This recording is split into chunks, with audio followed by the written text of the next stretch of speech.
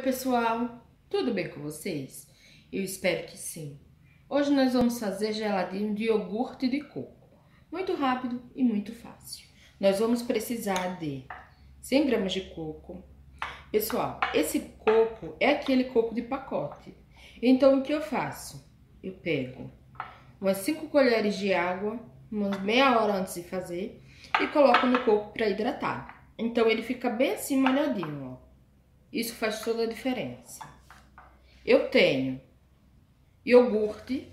Esse iogurte eu fiz ontem à noite, eu tô mexendo agora. Iogurte natural. Já tem a receita aqui no canal. Muito rápido e muito fácil também. Eu vou deixar na descrição do vídeo. E sete colheres de açúcar. Só isso. Esses são os ingredientes, tá bom? Então vamos começar.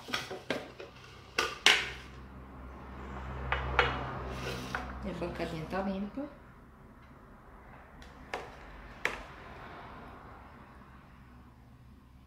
Vocês não sabem a delícia que fica esse geladinho, tá? Vamos começar com um litro do iogurte.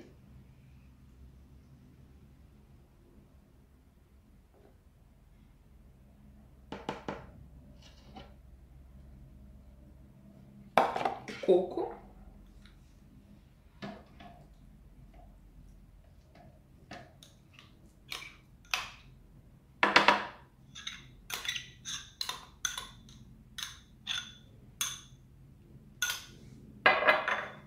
E o açúcar. Pode substituir por mel.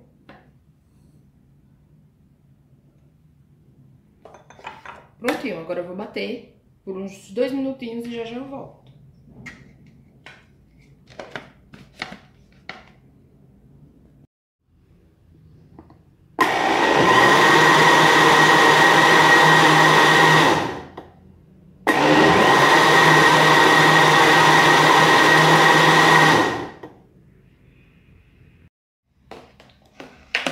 tá pronto, bater por dois minutos. E ainda dá, pessoal, pra ver e sentir os pedacinhos de coco, tá bom? Ele fica assim, fica delicioso, não precisa colocar leite. Se vocês quiserem, vocês podem colocar um pouquinho, umas duas colheres de creme de leite, só isso. Fica muito saboroso. E rende muito, né? E fora que o iogurte é caseiro. Então, vou deixar essa espuminha que tá aqui em cima, baixar e já já eu volto.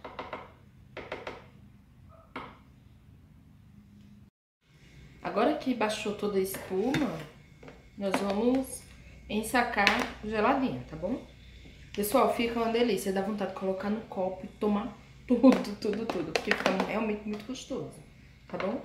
Se você quiser mais grosso, é só bater menos, mas eu prefiro sempre que rende mais, tá? que é para vendas. Para vendas, a gente tem que bater mais para render mais um pouco, tá? Mas, ó, não fica ralo. Fica muito bom, muito bom mesmo. Tá?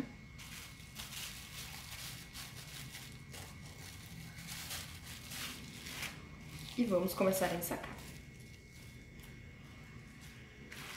Vocês sempre me perguntam quanto rende de cada receita eu vou falar quanto ela rendeu, tá bom? Quem quiser mais, é só dobrar, triplicar, quadruplicar o, a receita. Muito saboroso esse geladinho, pessoal. Então, quando acabar aqui, eu vou falar o rendimento deles, tá bom?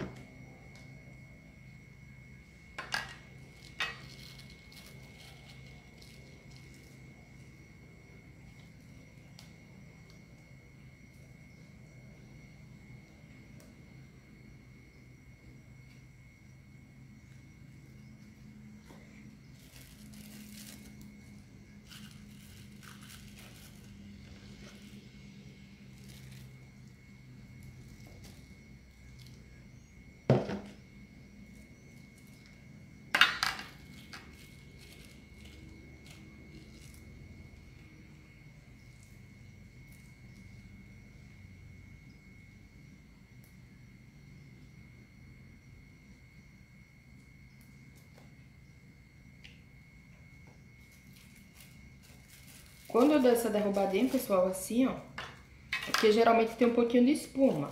E pra não ficar espuma dentro do geladinho, faço isso.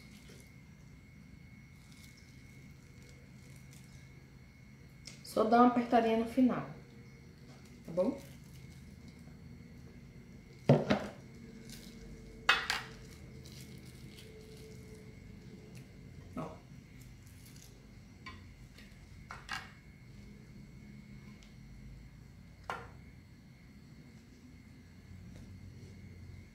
Não tem segredo.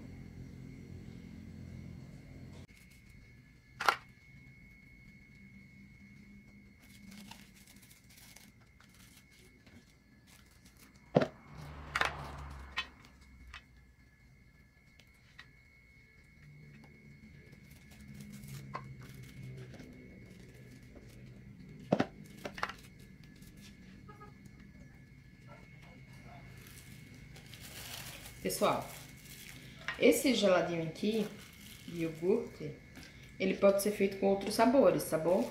Pode ser feito também com morango, com abacaxi.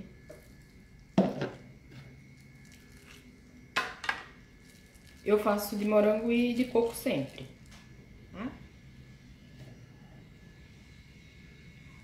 Quando é que sobra espuma, já sabe.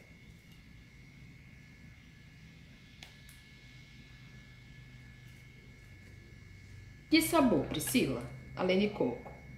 Pessoal, pode fazer com pêssego. Pode fazer com morangos, que morango fica uma delícia.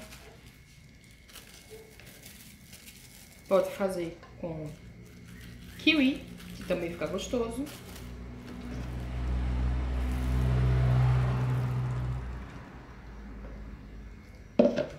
Vocês podem brincar com os sabores, tá?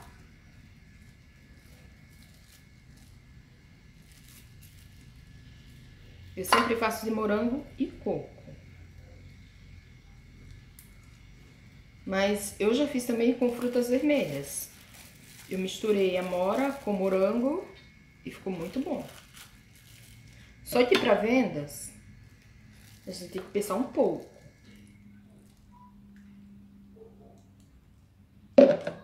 Tem que ver o custo-benefício. Então, coco sai mais em conta e morango sai mais em conta. Mas depende tudo de vocês.